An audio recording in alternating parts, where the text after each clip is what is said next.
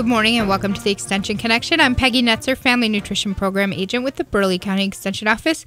Here today with Katie Jonke, Bismarck Burleigh Public Health uh, Dietitian. And we're going to talk about getting back in the groove now that school started. Jim, uh, Jim's ready to. Pat my belly.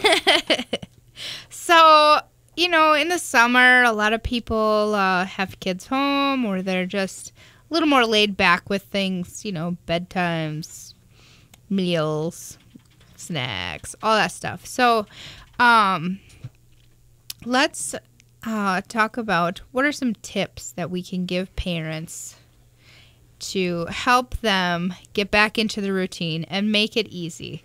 Now that your kids are back in school all day, they come home, they want a snack, you got to get them to activities, you got to make dinner and get them ready for bed and the next day. And so, how do we how do we ease that a little bit? And I want to say, people who are listening, if you have any great tips that you are willing to share, give us a call, and we have. Uh, we have some prizes to give out today, so give us a call and we will uh, we'll send you a, a little gift in the mail. Uh, six six Jim, what is it? Six six seven. 663. 663 1270. There it is. 663 1270. Give us a call. All right. So, Katie, tell me one thing you do that helps save time. planning ahead. Yes. Um, I think my lifesaver is my meal plan board. Yep. And so that's actually one of the uh, gifts. Is uh, one of the prizes that people can win. Is this uh, is this great? It magnets to your fridge. It's awesome. I use this actually for my own family. Plans your meals, so you put down what you're gonna have for meals every day, and then there's a grocery list with it too. So you can put on there what do you need to make each of those meals. I when do you do your planning? Um, usually on the weekend, Sunday morning is I do Sunday mornings too. when um, gearing up for the week. I don't always necessarily plan for Saturday and Sunday, depending on just because there's a little bit more um, fluctuation with that. But it is definitely my lifesaver, and my kids aren't even in school yet. yeah, mine either. Um, but it does save me time because getting home from work, the kids are hungry. There's a lot of things going on, and being able to know at least what's for supper. Plus, it keeps my husband from asking me what's for supper. um, so he knows too, and it's just it helps too with budget because you aren't out to the grocery store once a we week or have? What are we and then Yep. you're not just picking up for that meal, but probably something else. And Yep. um, if you can plan ahead, you'll save time, you'll save money, and I think that's really key to getting back um, into the swing of things. And then it helps build a balanced, um, healthy meal too for your family. Yeah, you're not you're not running to grab something from a drive-through or ordering pizza or whatever because you have a plan and you can uh, you can just look at it. And so the day before, night before, whatever you need to pull from the freezer, you can pull. If you need to maybe prep some veggies, you can do that. Um, or that's what I do anyway. Do you uh, do you plan in leftover nights? Absolutely, those are my favorite. Clean Yeah. out the fridge, Yeah. or and it, it is somebody or in my family, everybody might be eating something different, honestly. But it works. Um, but it works, and Yeah. it's just that is one. I probably have that twice a week, a leftover we do it night. twice a week also. Um, and so that eliminates some meals. So really, you only have to plan maybe three, four meals tops during your week. Um, And if you, you know, make whatever it is, you know, make a little extra. So there is um, lunch for when you go to work, and then you know the kids Mm-hmm. are hopefully eating lunch at school, so you don't have to worry about them. But then prepping those snacks too for when they get home or Mm-hmm. Yep. snacks at school. Yep. Um, so one thing I want to talk about during this segment before we have to take a break is tools that you can use in your kitchen to make things easier. Um, we both love our slow cookers. Right? I can't wait because fall's coming, and now it's like slow cooker season. Not that I don't use it in the summer, but it You use heavily your grill more in the summer, right? It's heavily used during the fall. So Yeah, I love the slow cooker this time of year because in the summer it's nice to have a hot meal without having to heat up your kitchen. Or if it's 100 degrees, nobody really wants to be standing out grilling. You know, it's just too hot for that. And so I feel like the slow cooker is good for the summer too. But yeah, fall is when you really start to look forward to those slow cooker meals because it's get it gets cold outside and you come home and your house has a nice dinner smell and And you can do so many different recipes. It doesn't Yeah. just have to be a roast and potatoes or Right. soup. I mean, you can do pasta dishes. You can do, Yep. um, you know, a mixed Really vegetable anything. dish. Really anything. and it just it's all about um, Yeah. planning ahead for that and you know having the right ingredients, adding them at the right time. Because not gonna lie, I've made some slow cook meals and it's like, oh, I put that in way too early. noodles. Noodles are what I always have trouble with. If I, it seems like no matter when I put them in, I, I screw it up. but um, yeah. So slow cooker is a really good, um, a good tool because dinner is ready and you don't really have to do anything. You might when you get home from work or whatever, you might have to throw in a couple of last ingredients like your noodles or dairy or whatever but you don't have to do much more than that to have it be ready. Um, with that, we should talk about some slow cooker safety stuff, I suppose. So, um, what do you mean? There's slow cooker, slow cooker safety tips? yeah, slow cooker safety tips. So, if anybody, um, yeah, that's another thing we could have people call in about that too. If you want to give us a call, um, we we'd love to hear what your favorite things are to make in the slow cooker and uh, if you have any good tips for that. So uh 663-1270 is our number here. Um, so I just want to give people a quick reminder that you want to make sure you're able to get your foods to the right temperature to kill any potentially dangerous bacteria. So that the biggest thing that we have to remind people about is don't put frozen meat in the slow cooker. That'll take a long time and it won't reach that proper temperature. Yeah. Um, eh, you know, it's different than the oven. You can put a frozen roast in the oven, but you can't in the slow cooker. Or also, frozen chicken. um, ground beef. What about that, Yes. Peggy? Ground beef. This is one that we hear about a lot. People do it wrong. It is not safe to put raw ground meat in your slow cooker. I'll say it again. Not safe to put ground meat that has not been cooked in your slow cooker. Um, ground meat needs to get to a pretty high temperature to be safe, and it will likely not get high enough temp in the slow cooker. And in addition to that, there's a lot more potential for dangerous bacteria because when it's ground, it comes from the outside of the meat and gets mixed all the way through. So your best bet with that is just have prep some ground meat ahead of time. Have it in the freezer so that you can it ready. have it ready, and then that you can throw it in whatever dish you are cooking. Yep. So we're going to take a quick break and talk more about freezer stuff when we come back. Currently, it's 66. Get the app called Radio Pup for your iPhone and take us everywhere you go. Bismarck and Mandan's own Super Talk 1270. Good morning and welcome back to the Extension Connection. I'm Peggy Netzer, Family Nutrition Program Agent with the Burleigh County Extension Office, here with uh, Katie Jonke from Bismarck Burleigh Public Health. And we were just talking about tools that we use, um, providing some tips for families who are getting back in the groove now that uh, school has started. And um, we were talking about slow cookers and how great that is. Um, when we left, we were talking about uh, things that maybe need to not happen because they're unsafe. So things like don't put frozen meat into the slow cooker because it won't get to the proper temperature to kill all the bacteria. Don't put raw ground meat, so hamburger, that kind of thing, into the slow cooker because it won't get to a high enough temperature to kill all the bacteria that has been mixed in when the meat was ground.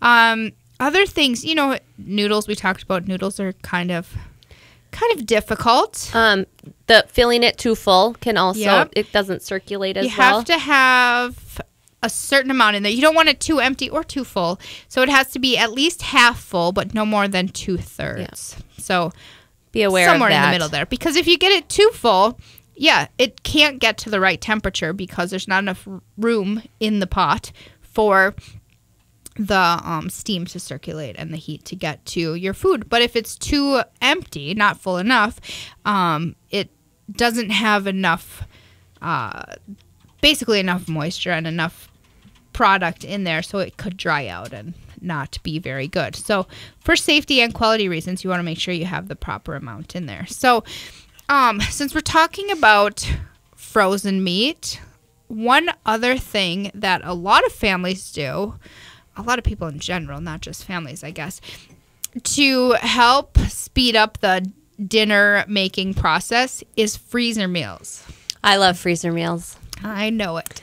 Um, that is actually one thing that I take a you know a day out of probably every quarter of the year. Um, so every probably three to four months, and do a big day's worth of freezer meals, and can get anywhere between fifteen and twenty meals. Um, which makes multiple servings too. Right. It doesn't just feed my family for one time, and that lasts us for quite a while because it, we don't use a freezer meal every night. For those times where things are crazy. You might work late or you're running to an activity, um, just busy where you wouldn't have time to prep a, a full meal when you would get home. So Yeah. those are definitely something to consider and look into if you are interested. Um, but there are safety concerns with freezer meals Right. as well. And you know, it's I like that you said it's not for every night because that's part of the meal planning process that's going to help you because looking at that um looking at your schedule for the week, you know the nights where you're just not going to have time to cook. And so those are the nights that you put on freezer meal or you put on leftovers. or maybe you put on frozen pizza. I or don't know. a bowl of cereal and Yep. yogurt or whatever it might be. fruit, yep. Um, You can have breakfast for dinner. I think that's sure probably can. one of my most favorite meals, actually. Um, Yep. Just th- remember balance um, Yeah. is key to have that healthy um, meal for your family. Um, especially for the kids, you know, they need that nutrition to keep them going. They're busy in school and activities. Um, some are in sports, some are in extracurricular activities. So whatever they might be, you um, are going to be running here and there, but definitely um, keep that nutrition quality of your meals in mind. Right. And you know, freezer to slow cooker meals are double time saver. But we just said don't put frozen stuff into your slow cooker. So, what do you do, Katie? So if I know, let's say, okay, it's Wednesday today, so let's say I had one for Friday, my freezer, my crock pot freezer meal will be taken out today to, so that it is thawed and ready to go Friday morning. And put into your refrigerator. Yes, in my refrigerator, not on my counter or my sink. Um, and so that's something that you do have to plan ahead, but having that meal plan written down, you can see, oh, I have a freezer meal coming up, but it needs to thaw. So taking that out. And that does that takes a whole what, 30 seconds to run to the freezer, grab it and put it in your fridge. Um, and so it's just having that um, set aside too because you definitely don't want it frozen going into that slow cooker. Yeah. So, I think it maybe was just yesterday. Um, someone in our office said to me, "You know, the meal planning thing. I thought I needed to do it when I have time. So I should plan to cook because I know I'm not busy on those nights." And then she said, "But I've realized that it's the nights when I'm busy that I need the plan the most." And so I, I feel like that's something that people need to just recognize. You know, when you're busy, that's when you need that plan. When you have time to cook, maybe you do take some time to stop at the store and see what looks good and go home and make it. But it, it's when you're tight, when your schedule is tight on time and you you know, you only have a half an hour to get home before you got to take a kid to soccer or something. That's when it really does make a difference for people, I think. Um Yeah, and I mean, because there's nights where I might want to cook a little bit nicer of a meal, so it's a little bit more prep time, and and those are the days where I'm home at a regular time. We Mm-hmm. don't have to run anywhere. We don't have anything going on, and we can just enjoy the Yep. cooking process because that is part of it too. Right. Um, spending time with the family and eating family meals, um, and so don't think that you have to be so strict on your freezer meals or crock pot every night. You can make a meal from scratch without having a plan. Just say Yep. maybe it's chicken night and you just know that it's going to be a chicken meal. and see what Or- inspires you. And you know, or maybe it's uh, taco night, but you don't know is it burritos, is it tacos, is it a soup, you know, whatever it might At be. At our house, Saturday night is typically farmers market night because we will go to the market and just see kind of what's there and we'll grab some stuff, um, meat, bread, whatever, with our veggies, and that's what we have. So we just put on their farmers market or you know you could put you could just put on their grill Yep. and whatever I've you feel like too. grilling that's what it's going to be that night Um, another idea to get the kids involved and they're more apt to um, want to eat the meal is do like a kids' choice night. So the kids get to choose what they have, you know, and help them. You know, if they want macaroni and cheese, okay, fine. Well, how what else can you add to it to balance out the meal, um, or you know, what how can you make it more fun and um, more nutritious than just a box of mac and cheese? So you know, involve them, um, and you can do a lot with a bag of ramen noodles or a box of macaroni and cheese or a, you can use a prepackaged food and make it um, healthier than what it is so Yeah. keep that in mind too Yep. And I honestly I feel like stuff like that is in most homes Yep. because it is quick and it's easy and convenient. And so those little things like adding a bag of frozen vegetables to something is so simple and really inexpensive, but nutritionally it has a big Difference. Big Yep. difference in your you know meal. throwing a banana on the side or a piece of fruit whatever you have um, you know veggies your piece of fruit and your box of macaroni and cheese i mean you're balancing it out with those fruits and vegetables which is so important too and we want to encourage that um, in children and adults Yeah. So, um, let's talk a little about kids and not eating fruits and vegetables. I hear from so many people how hard it is to get their kids to eat fruits and vegetables, and we talk about that a lot.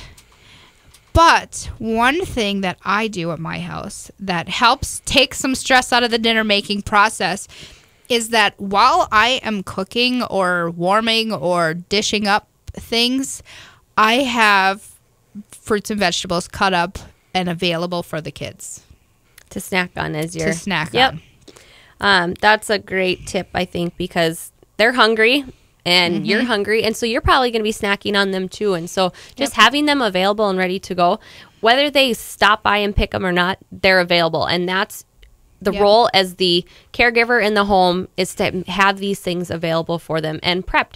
You can't expect your kid to eat celery if it's sitting in the stock in the a fridge. bundle, yeah. You know, a, a six, seven year old's not going to go cut it up, and probably Right. not a 15 year old either. So, um, you know, having that, have it Or ready to go, forty year old. or even an adult, an adult, um, you know, so having it cut up, and even you know, on the day, you know, Sunday morning, if you're planning your meals for the week, cut up your fruits and veggies for the week, or you know, portion them out, or whatever it is that you do, um, so that they are ready to go for snacking. I think that's um, probably one of the most convenient time saving tips but mm-hmm. also a way to encourage fruits and vegetables in the home Yeah, and I know a lot of parents don't want to give snacks too close to dinner time because then their kid won't eat at dinner. But for me, I feel like if they're filling up on fruits and vegetables, I'm It's okay fine. if they don't eat whatever I I'm, Yep. or don't eat much of what I made for dinner. Yep, because you know, like the other night, my one and a half year old wanted a banana, and he mm-hmm. ate the whole banana Of course. right about ten minutes before dinner, and then he didn't,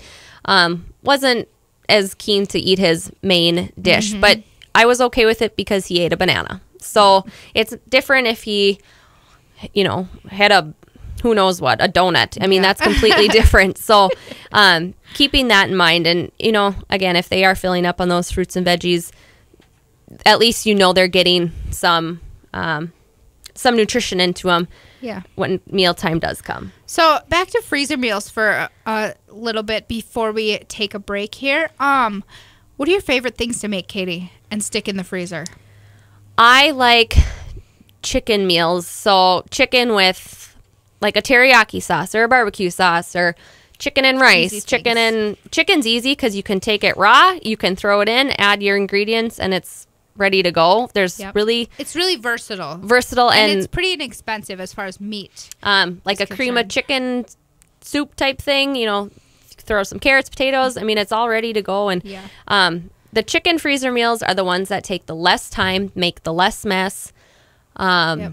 You know, And the they're the thing is, fastest. it's good to have some sort of theme when you're doing freezer meals. Absolutely. So whether it's chicken or it's Mexican or it's Pasta or yeah, whatever it is, it's good to have a theme because it makes it easier for shopping. It makes it easier for prepping, um, and you know sometimes you put the stuff in a bag and then you have to thaw it and cook it, right? Yes. Sometimes you just put it in a foil pan and you can take it straight from the freezer and into the oven. Yep.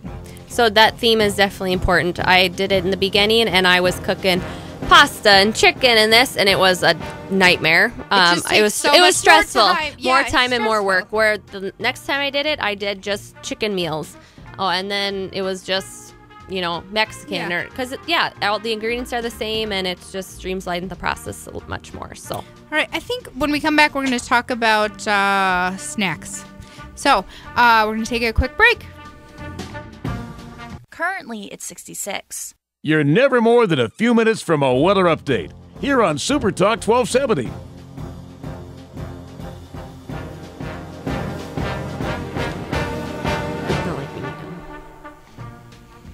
Good morning and welcome back to the Extension Connection. I'm Peggy Netzer, Family Nutrition Program Agent at the Burleigh County Extension Office, here with Katie Jonke from Bismarck Burleigh Public Health. And we invite you to call in uh, 663 1270 and share your tips for getting back into the back to school routine.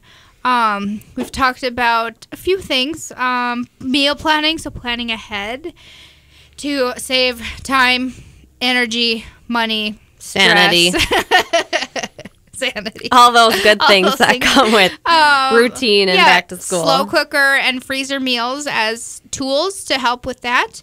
And um, I want to talk about snacks because, well, first, kids take snacks to school.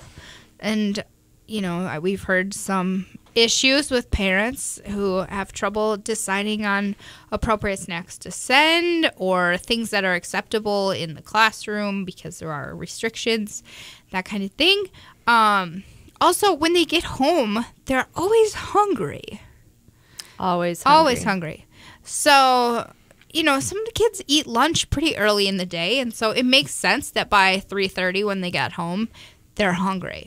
And if you think, you know, as an adult, I have an afternoon snack at work. Mm-hmm. So why should we expect the children to go without something when they get Right. home? Um, snacks are meant for a reason, and they're to fill the gap between meals. Um, you know, I think sometimes snacks get a bad rapport because they are sometimes used inappropriately. Um, but they are meant for a reason, and they are to help maintain a healthy weight and um, a healthy lifestyle. So Right. They are used when used appropriately. They can be So helpful for we you. have um 10 tips, right? 10 tips for snacks. so Run them down. save time by slicing veggies um, and or fruits. We we already talked about this kind of earlier Yep, on, but meal planning. you know, taking it one day and slicing all your produce or prepping all your snacks um, in containers or baggies so that they're easy to grab and go. Even having like a bin in your refrigerator or using one of the produce drawers so snacks are all lined up so your child knows that they can go to this drawer and grab whatever they want from here and it be an appropriate snack for them. Um, I think that'll be great when my kids are older or your, our I know. kids are older. That'll be a good way to do it. um, mixing it up. So whether it's um, dried fruit and a trail mix, and I know you know that has some restrictions when we're talking about school snacks, but a snack at home you could do a trail mix, um, smoothies. Um, Especially when you're home, because and depending on the age of your child, um, You might not want to give them a blender. blender, but um, that is something that you could even have ready to go in the freezer and let it thaw in the fridge Mm-hmm. if you come home on lunch or something like that. Um, just having a glass of milk is a great snack. Milk provides a lot of nutrition um, in an eight ounce serving, and so they get their protein, they get their calcium, vitamin D. Um, they get a lot out of just an eight ounce glass of milk. So you know, having graham crackers and milk. I know we had that when I was in school, and Mm-hmm. We used um, to have that for yeah. I look forward to that for everything. So they get a you know a little treat kind of with the graham cracker, but they're um, complementing that with a glass of milk. Mm-hmm. Uh, choosing whole grains when we're talking about cereal or bread options. So if they have a peanut butter sandwich or a meat and cheese sandwich, using whole grain bread, um, having popcorn, which is a whole Or if grain. they're having cereal, Cereal. don't choose the Um, sugary ones. Choose Cheerios, you know, things like that. Nibble on lean protein. So, things like uh, low sodium deli meat, um, with an app with apples or ch- a cheese stick, um, Greek yogurt, um, or yogurt in general. You know, those are all having those options available. And it doesn't have to be much for a snack. You know, anywhere from 100 to 200 calories is really all that is needed for an appropriate snack. Well, and for you know, for smaller kids, you don't want to give them nuts, but for older kids, you know, some almonds in a trail mix or in Yep. you know whatever with their yogurt and fruit is is a good option. Um, number six, keep an eye on the size. So that's referencing portion size because this is where snacks kind of fall off um, because snacks can turn into meal sized helpings and that's where they can be a problem um, so having those snack size baggies which i think are great because you I can only too. fit you really can only fit so much in there and it is it, it ends up being an appropriate portion even like a trail mix where, which is easy to kind of overdo on Mm-hmm. that really fits the appropriate amount um, fruits are quick and easy. Um, fruits are kind of sure. like the first grab and go meal if you think about it. Apples bananas food right fast food. Yeah you grab it and you go. Um, so even just having the simple ones apples and bananas right on the counter you know they- Pears in our house, things peaches. um, yep you can just eat wash them and eat them you don't no Yep. cutting no peeling um, And you know, talking about school snacks, every classroom it's okay to bring a piece of fruit. absolutely. Um, even dried fruit raisins um, is an you know grab and go option but that fresh produce um, It's easy. it's easy thinking of convenience so having some of those prepackaged or single serving items String cheese string cheese yogurt is a staple um, house. but that one's a convenience so just because it's a pre-packaged item doesn't necessarily mean it's Bad. bad or unhealthy. Um, you are going to pay for convenience, but sometimes you got to you have to. And, and I think in this time frame where we're all busy and on the go, that is really important. Um, be cautious of the sugar, and so limiting cookies and pastries, candies, um, and then sugar sweetened beverages, which is big. So make sure they're not coming home and having a large glass of Kool Aid Yeah. or sugar, you know, f- a fruit drink. You know, at least offer them 100% fruit juice or water is best. Have a fun water bottle ready for them to go. Yep. And then preme- prepare homemade goodies is our last tip. So, I mean, things like um, a trail mix, energy balls. I think that's kind of a pretty common thing people are aware of. So, just kind of like a peanut butter ball of oatmeal and cereals, nuts, chocolate chips you can throw in there, different grains. Um, Yeah. but don't be afraid to muffins, mini muffins on your own. You know what it is at our house right now? Bran muffins. Oh, the, I have some in the freezer. Yeah. The the kids are obsessed with them. the other day it was hot outside and my three-year-old i said if he wanted he could go in and get a popsicle so i'm thinking here he went into the house to get a popsicle but i had like a proud mom moment when out he comes with the bag of energy balls and he wanted one instead. And so that's what he had instead of a popsicle which i said he could have as a treat because we were outside playing and it was just a hot day. Um, but he chose to go the healthier route and have an energy ball. And so i felt kind of good as a mom right there that he knew where to find them, which is why I have them in the spot. And um, he's seen them enough, and we've talked about them, and he's helped make them where he's he likes them that much. So even at a small age, um, you can instill some of those healthy behaviors. Right. Um, speaking of healthy behaviors, let's talk about tips for parents who are having trouble getting their kids to eat fruits and vegetables. You know, some kids do it just because they're used to fruits and vegetables, but some kids will fight it no matter what. It'll be corn and potatoes is all they want. Peas, corn, and potatoes, the starchy veg- veggies are, and they're okay. They're fine. They do have nutritional value to them, but we need to branch out a little bit because some fruits and veggies, different colors, provide us with different nutrients, and we need to just think like a rainbow and eat like a rainbow when we're talking about fruits and veggies. So, what kind of tips do you have? So Peggy? the funny thing is, in my house, my two-year-old, the common things like potatoes and peas and corn, those are the things that he will not eat. He'll eat corn on the cob, but he doesn't like peas or potatoes. He hates potatoes. I don't know why. He's a weird kid. Um, but he eats a lot of other things. So, um, the first one is something that you kind of said is smoothies. So use a smoothie. Make it. It's a great way to hide some things, too. Yeah. Make it with some spinach. Could be like a Ninja? Turtle smoothie or something. Yeah, we made green smoothies at our house and then I froze them into popsicles. Yep, So I've done that as well. It's basically Greek yogurt and some blueberries and some uh, spinach in ours.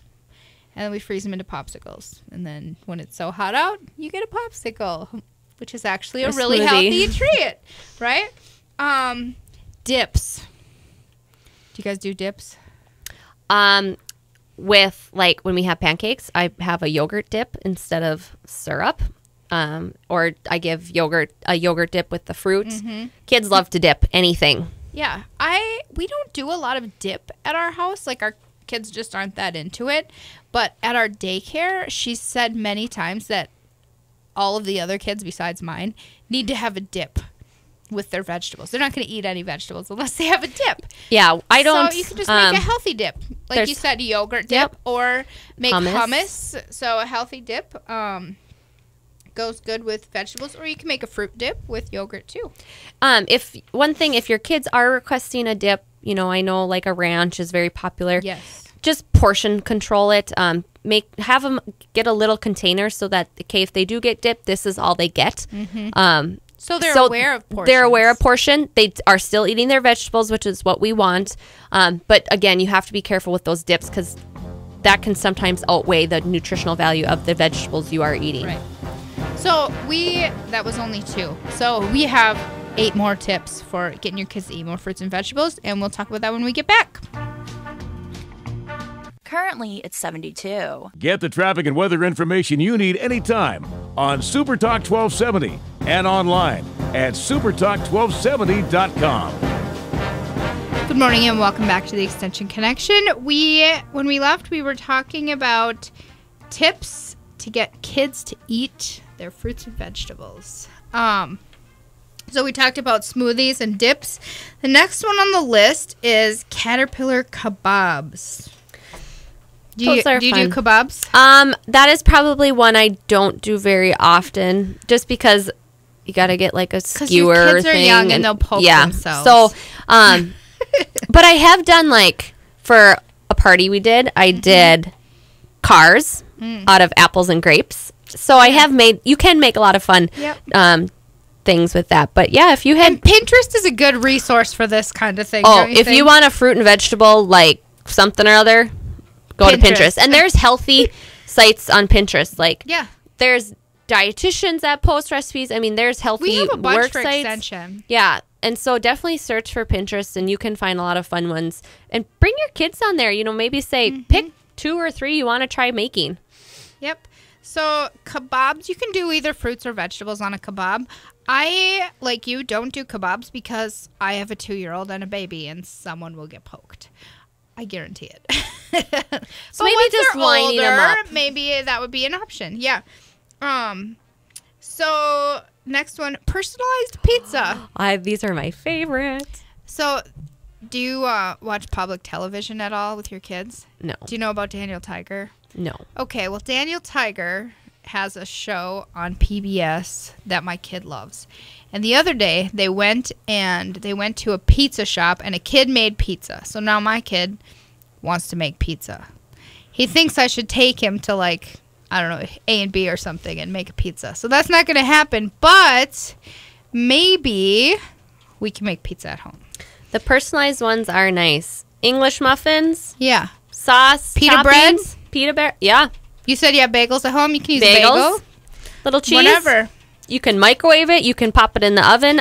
Toaster they're, oven we use. They're pretty awesome, and Yep. the kids love them because they're getting pizza. Right. But it's still qualifies as a snack because of the portion size. Yep. Or, you know, if you want to make it for dinner, give them a couple. Let them put as many vegetables as they want on there. You can make faces, which the kids love. Mm-hmm. They do. So, next one. Fruity peanut butterfly. I might have to explain this one, huh? Um, start with carrots or celery for the body. Attach wings of apples. Uh, and then decorate with grapes or dried fruit. Oh, so kind of similar to The ants kebab. on a log, Yep. which is another tip. bugs on a um, log is another one. So basically, just making a animal again out of Yep. your um your fruits or your Make shape. veggies. For sure. Frosty fruits. So frozen fruit. Do you have frozen fruit at home? I don't um right now, but we that's because we just used ours ate it all? up, and um I do like frozen fruit more in the winter. Um, Yeah. I don't use it as much in the summertime, Because we have access to fresh. but it is nice for smoothies to have that Yep. frozen fruit on hand. Um, Yep. I think if you were out of popsicles, frozen fruit would be a really good alternative. For older kids, frozen grapes is a great thing. Yeah. It's refreshing. They're I love they're great. grapes. Um, but again, probably for your older kids, um, when they're past the age where it's a choking hazard. choking hazard. yeah. Um, So bugs on a log we talked about. Um I know this about you, Katie. You don't like raisins. I don't like raisins. So for people who don't like raisins, they can use cranberries, Cranberries. or cherries or Even a any other dried fruit Um, instead. As a little treat, I have used mini chocolate chips. Mm-hmm. Used just a few of those, so you kind of make it more of a little dessert or a treat. But really, three mini chocolate chips is not, Mm-hmm. Not going to do overboard. So um, Yeah. I have used those as an alternative. Yeah, trail mix. We talked about that earlier. How it's easy way to throw in some, And it doesn't have to be a nut based trail mix No. either. I mean, it can be, I've done it like clean out the cereal boxes, Mm-hmm. trail mix, add some dried fruit or um, whatever it might be. And it's kind of just a random, randomness mix. But know that it doesn't have to be nut based. So if you do have that nut allergy or you are thinking of, you know, for school snacks, um, Yep. you don't have to put nuts in. That is one way to add nutritional value, but um, It's not. it's not a nut. Required. Yep, it's not a requirement for a trail mix. Yep. All right. Potato person is number nine. Decorate half a baked potato. Use sliced cherry tomatoes, peas, and low fat cheese to make a funny face. So a baked potato as a snack. Mm-hmm. Not something I think somebody people think about regularly, um, but baked potatoes are easy. You can Yeah. have them ready to go, and Just heat it up Heat and it up. some face on there. um, even as a lunch option for you as a parent or a Yeah. caregiver, um, that's a nice um, meal to go off of. Sure would be. I hadn't thought of that either, but like I said, potatoes are not big in our house. Um, number 10 says put your kid in charge. So let them choose something. Let them arrange the fruits and veggies in a design. If they're older, they can look at Pinterest and come up with something, or they can tell you what they're looking for and you can search it out for them and let them pick something to follow. Let them pick at the grocery store. Um, Yeah. You know, give them a, a challenge or a task to go um, and say, I want you to go find me a orange fruit or Mm-hmm. a green vegetable or whatever it is, um, or just say, here's a dollar, go pick out something, and give that give them that freedom to choose, um, and they're gonna be really excited to eat it and incorporate it into your meal. Yeah. And many years ago, I know you know this story, Katie. And I'm going to give credit here because a lot of folks in our community know this lady. Um, our friend Wanda Agnew used to be, um, she's out at United Tribes now, but she used to be with Public Health. And many years ago, she told me that when her kids were small, you know, parents sometimes have a challenge going to the grocery store with their kids because kids want everything. And she said what she did is if the kids were behaving, they got to pick a reward of one item from the produce section at the grocery store. And I thought, that is genius, Wanda. because you're getting your kids to eat a fruit or vegetable because they're choosing it as a reward. So, of course, they're going to eat it. It's their reward. So, you're winning and they're behaving in the store. So, you're winning twice. Plus, then you're getting fruits and veggies for your house, Yeah. which is like a three time win. Um, Yep. So, yeah, great method. And then your kids are quiet on the way home because they're eating. Um, although knowing my kids, it would be like the watermelon, and Yeah. they'd want to eat it in the car. so, um, Yep. but again, making them take have ownership over that um, Yeah. can really help with the pickiness and the fight. Sometimes the fight to eat your fr- the fruits and veggies at mealtime. Right.